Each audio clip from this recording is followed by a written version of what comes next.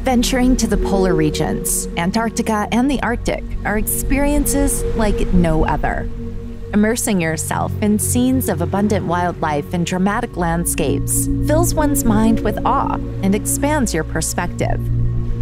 These unique and life enriching experiences are a major reason why so many people are increasingly putting expedition cruising to Antarctica and the Arctic on their bucket list. And the majority, after this experience, fell in love with these places, changing forever their perspective and eager to return.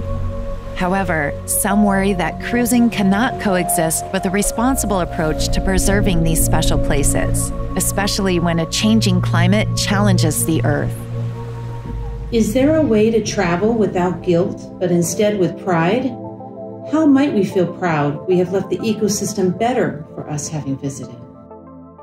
At Positive Polar, we will do our best to restore the ocean wildlife while we are cruising, boosting a well known natural cycle. The ocean is our greatest ally against climate change, absorbing more than a third of the world's carbon dioxide gas emissions one way we can support the ocean is to restore what whales would have done before industrial whaling removed more than 85% of the whales from the sea.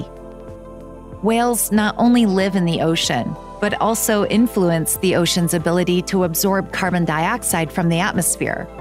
Whales vertically and horizontally mix ocean waters, delivering and recycling nutrients, promoting biodiversity, and mitigating climate change by sequestering carbon for long periods. One special organism that lives at the surface of the ocean and needs nutrients is called phytoplankton. Phytoplankton are essential to feed all of the marine life in the ocean before they fall to the bottom of the ocean, sinking carbon as they go. Positive Polar will work with scientists to responsibly spread nutrients that mimic what whales would have done in parts of the ocean, where this can make a positive difference. By doing this, we intend to help restore the balance that was upset by the extensive hunting of whales. This will result in more fish available for a growing population and more carbon capture to improve our climate. Our actions will benefit communities depending on fish stocks, and by helping to restore our climate via fertilization and other techniques, such as enhanced atmospheric methane oxidation, or EAMO, we will reduce the possibility of a sudden rise in the sea level.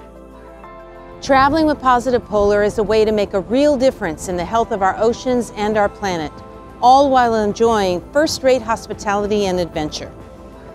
All this while we contribute to science, experience immersive expeditions, and have some fun all together on a ship where we build zero waste and leave no trace principles into everything we do, feeling proud of our positive impact.